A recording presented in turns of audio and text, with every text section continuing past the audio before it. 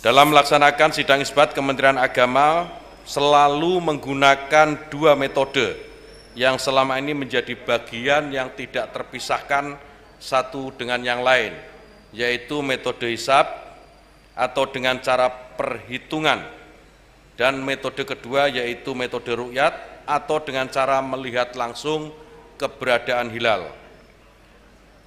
Untuk kita pahami bersama bahwa dua metode ini, baik metode hisap maupun rukyat, bukan dua metode yang diperhadapkan atau dipertentangkan.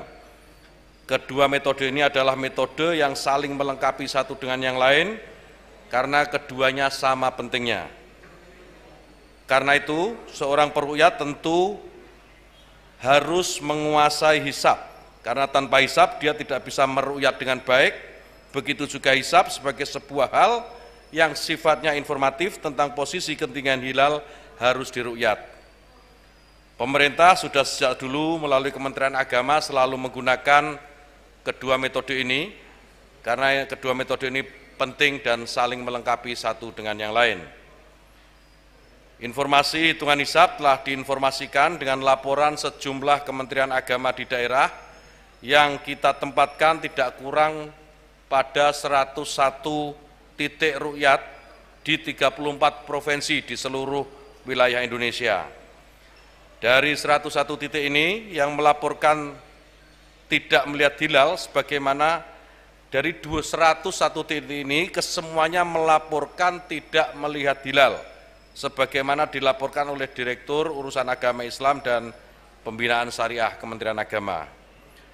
Oleh karena itu, saudara sekalian, dengan dual tersebut di atas, yaitu berdasarkan hisap posisi hilal seluruh Indonesia sudah di atas ufuk, akan tetapi belum memenuhi kriteria MABIMS baru, yaitu tinggi hilal 3 derajat dan sudut elongasi 6,4 derajat, serta laporan Rukyatul Hilal, secara mufakat bahwa satu Ramadan tahun 1443 Hijriah jatuh pada hari Ahad 3 April 2022 Masehi.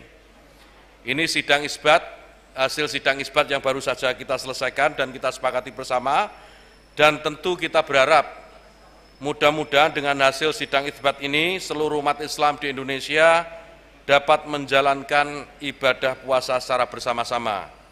Mudah-mudahan ini adalah simbol sekaligus cerminan kebersamaan umat Islam Indonesia dan kebersamaan ini mudah-mudahan menjadi wujud kebersamaan kita semua sebagai sesama anak bangsa untuk menatap masa depan Indonesia dan bangsa ini menjadi jauh lebih baik. Medcom.id, a part of Media Group Network.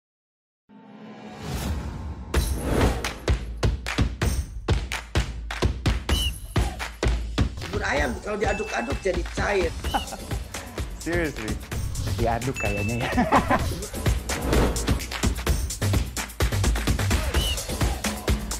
Oh perlu luar negeri gimana ya? Ini, ini demi kemajuan bangsa Indonesia.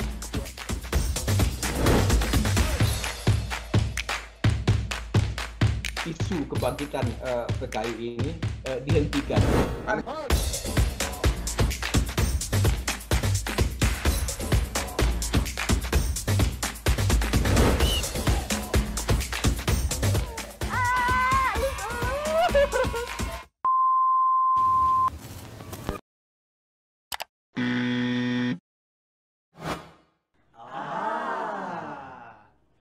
Medcom.id, a part of Media Group News.